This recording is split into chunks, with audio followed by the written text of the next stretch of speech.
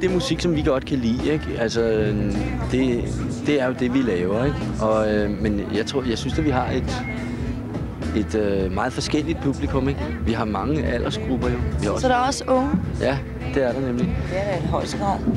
Altså, vi er jo meget, vores publikum, det er folk, der hører efter teksterne også, ikke? Det er i hvert fald et klart indtryk af. Men øhm, ja, vi har jo bare spillet det nu for mit vedkommende mere end rig, selvfølgelig. Altså, vi har bare altid spillet det musik, som vi, som vi har spillet. Altså, det, som vi godt kunne lide, ikke? Du kan se, der går en rød tråd helt tilbage fra altså 15 år tilbage med tøstrengen og sådan noget, ikke? hvor det går lige op, ikke? Og det er jo nogle af de folk, der er i orkestret, også Sivertsen på trommer og Stanley, ikke? De, de har jo også været med der. On and off, ikke? Hele tiden, ikke? Men altså, der går en rød tråd igennem det hele. Vi har dybest set bare spillet det samme, og så udviklet det hen ad vejen, ikke?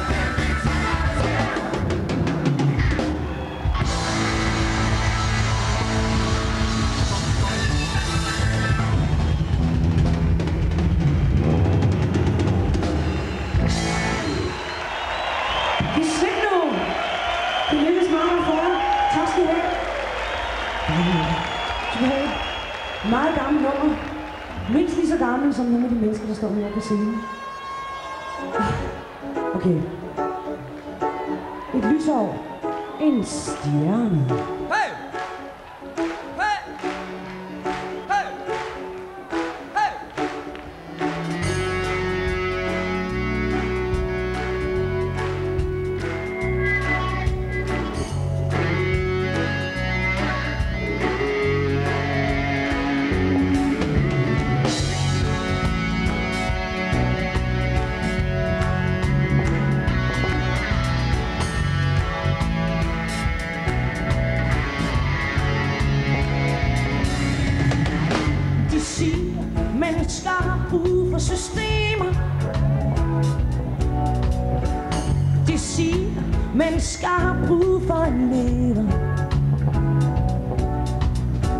Du er helt ny, og vi er alle en døde nysgerrige. Hvem er du? Jamen, jeg er jo bare en lille pige. Nej. Øhm, jeg har jo, som jeg har sagt flere gange før, spillet en utrolig masse live. Men har ikke været så meget ind over pladeindspilninger og sådan noget. Så øhm, det har været min læreplads. Det har været de forskellige scener. Men så er jeg så kommet med i et pladeprojekt. Så øhm, ja, det, det er min altså, musikalske baggrund, ikke? Har selvfølgelig en anden slags baggrund også. Min musikalske er noget med at have spillet og spillet og spillet i en uendelighed.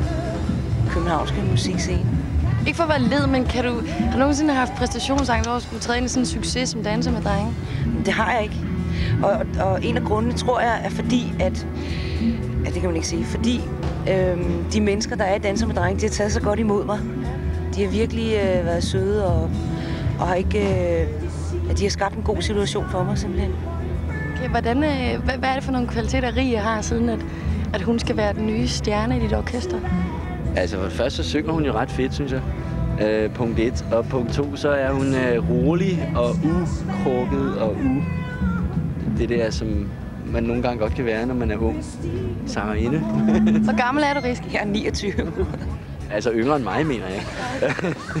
jeg er jo 30, ikke? Øhm, men altså, Rie passer bare enormt godt ind i vores, ikke? Og vi havde jo en audition med 30 sangerinder, øh, før at Rie kom som nummer 31 og trådte ind i døren og sang et nummer, som vi har, som hedder Går gennem mørket. Og så øh, var det bare det. Det kunne vi høre lige med det samme.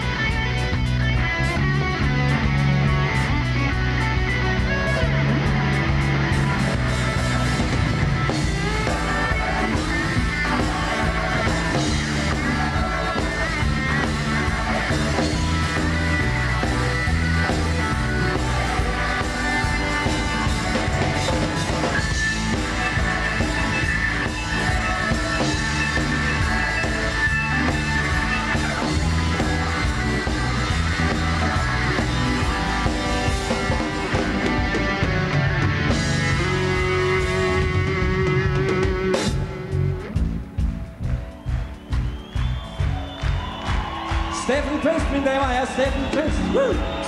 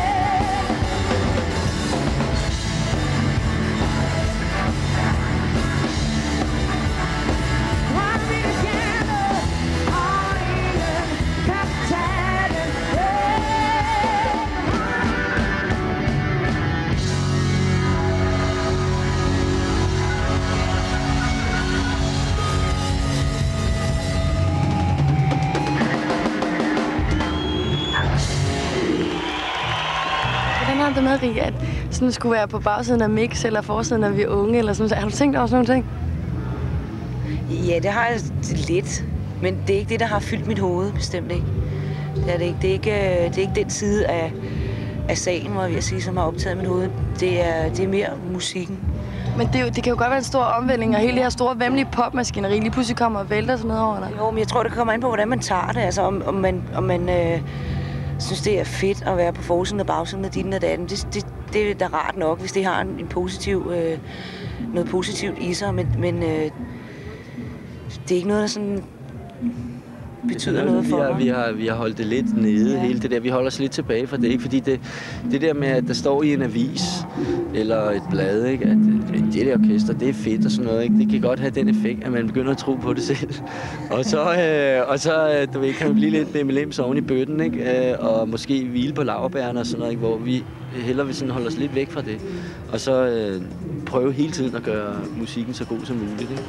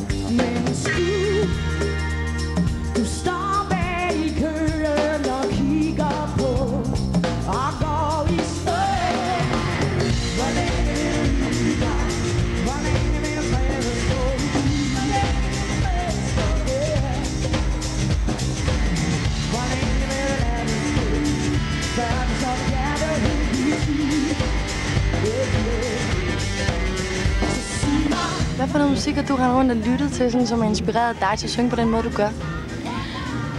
Jeg har lyttet til og selv sunget en del uh, rhythm and blues. Uh, rock også. Uh, det har jeg stort set altid hørt. Jeg har hørt meget dansk musik. Det har jeg hørt mest, faktisk. Har du gået og hørt Claus' gamle plade, for eksempel? Ja, ja da. Tø- Tøsedrengene hørte jeg. Nej. Ja, det har jeg. Det har jeg bestemt lad du dem udnytte dig? Jeg ved, du ikke har været sådan altid.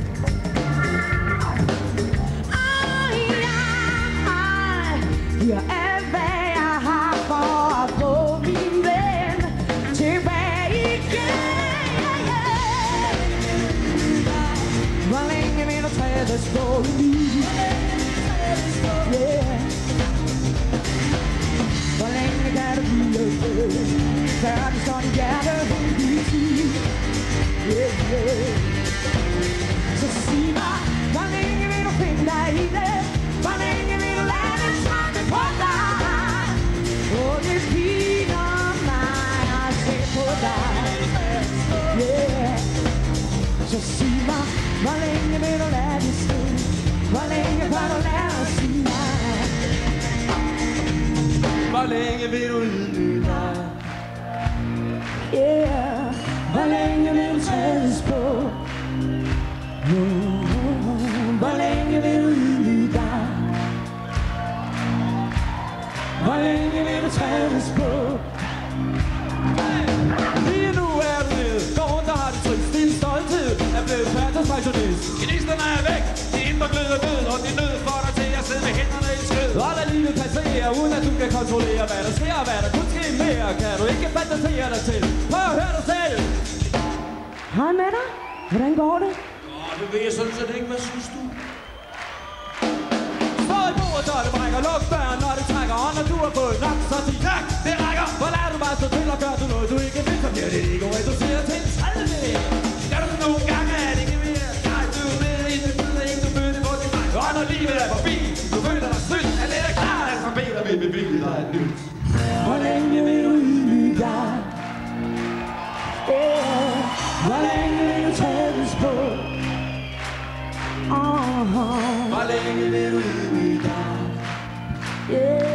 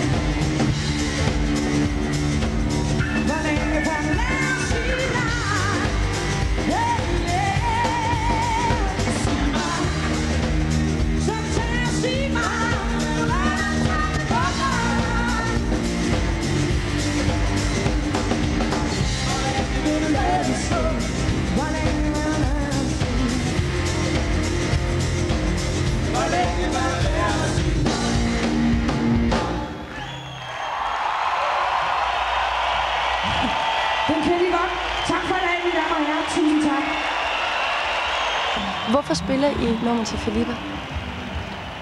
Ja, hvorfor gør vi det? Det, det, ja, hvorfor gør vi det, Claus? Det, Jamen det er fordi, at vi ville, ja, det skylder vi hende lidt, ikke? Altså vi kan jo ikke lade være med at tænke på det, vel? Altså det har jo betydet virkelig meget for os i hele den her fase, ikke? Der var det at kæmpe os ud af Filippas dødsfald med at lave en plade, ikke? Og med at komme videre med orkestret, ikke? Altså med ligesom at sige, livet det går videre, vi kan jo ikke sætte os ned og græde. Jo, det kan vi godt, ikke? Og det har vi da også gjort, ikke? Men altså vi måtte videre. At det var det, der var vigtigt for os, ikke? Og så synes vi, vi skyldte hende øh, det. Altså, fordi hun var fandme god, ikke? Og var god for os, ikke? Øhm, og så er det, er det også en meget god ting, at man siger tingene lige ud. Det har vi i hvert fald haft erfaring for, må nok sige. Altså, at vi har sagt lige ud, jamen altså, Filippa, hun er død, og det er sørgeligt og alt muligt, men vi må videre. Fordi det er realiteten. Vi må videre. Det lyder brutalt, men sådan er det. I stedet for, du ved, at gå og lade være med at snakke om det og sådan noget. Så vi har fyret mange vitser af, du ved, om øh, Filippa og alt muligt, som sikkert udenforstående vi synes var rå på en eller anden måde. Ikke? Altså, vi fyrer meget, mange mærkelige ting af internt i orkestret, ikke? men altså, vi forholder os til det på, en, på den måde, som vi er nødt til at gøre for at komme videre. Hvor der har nogen sådan på noget tidspunkt været i tvivl om, bandet skulle fortsætte efter hendes døde leje? Ja, det er klart, ikke? Fordi det var jo, det var jo også et langt træk, hele det der med danse med drenge, med Filippa der i starten, ikke? Altså, det var jo også svært, ikke? Og det lykkedes, og det var dejligt, ikke? Så ligesom så, åh, nej, ikke? Der ved jeg, vi gik jo... Ja, det, var- det var en svær tid, ikke? Det, jo, det har der været tvivl om, ikke? Det var indtil Rig kom. Det var da Rig kom, så, så kunne vi finde ud af, gang, nu kunne det køre videre, ikke? Okay?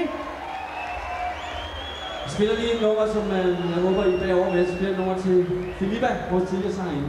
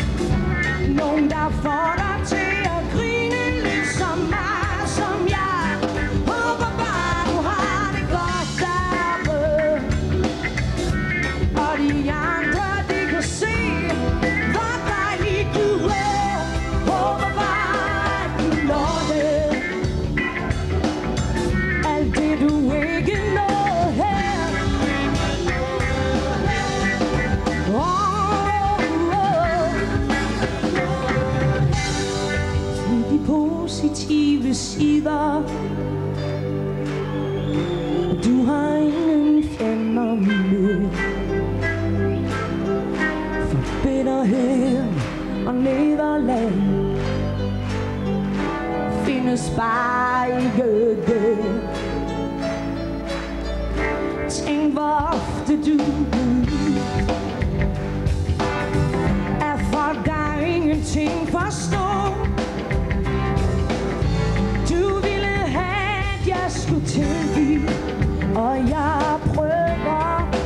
girl.